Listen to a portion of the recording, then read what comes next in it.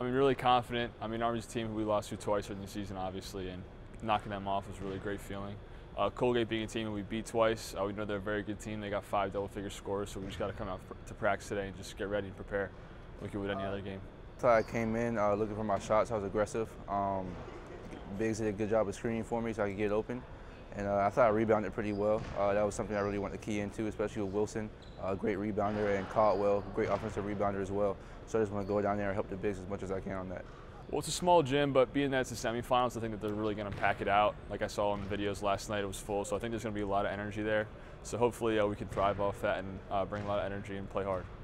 Uh, yeah, I just think we came in locked in from the start. Uh, we were all focused. Uh, know they beat us twice in the regular season, so we had a chip on our shoulder. Um, we wanted, we had something to prove, so we wanted to come out um, defensively, offensively, just locked in, and uh, it showed.